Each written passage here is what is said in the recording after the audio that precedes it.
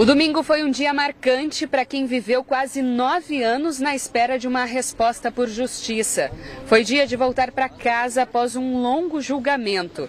Para acolher os familiares de vítimas e sobreviventes do incêndio da Boate Kiss, um grupo de apoio começou ainda pela manhã a organizar uma recepção no centro da cidade e na tenda que tem sido um refúgio desde 2013. A gente está com grande expectativa de poder abraçar todos os pais, poder confortar um pouquinho. O ônibus com mais de 50 familiares chegou por volta das 13h30 da tarde em Santa Maria.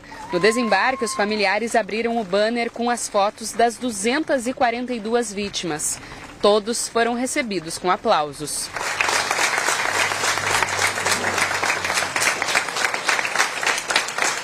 Foi um dos, do, dos momentos felizes esse que nós tivemos depois da saída de Santa Maria.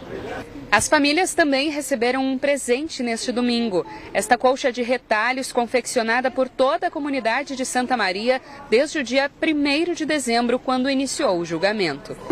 Foi, é muito lindo porque tem todo um simbolismo, né, do, dos retalhos.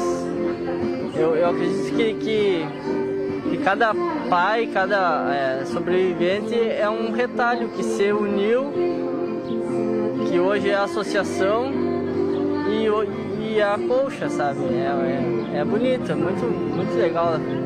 Mesmo após o fim do julgamento, a luta das famílias não terminou. Com o habeas corpus concedido aos réus, os próximos dias ainda devem ser de muito trabalho. Se fechou um capítulo que agora se abrem outros e sem a gente precisar ter medo agora de falar sobre essa história, sentir que a gente está acusando alguém. A história não para por aqui.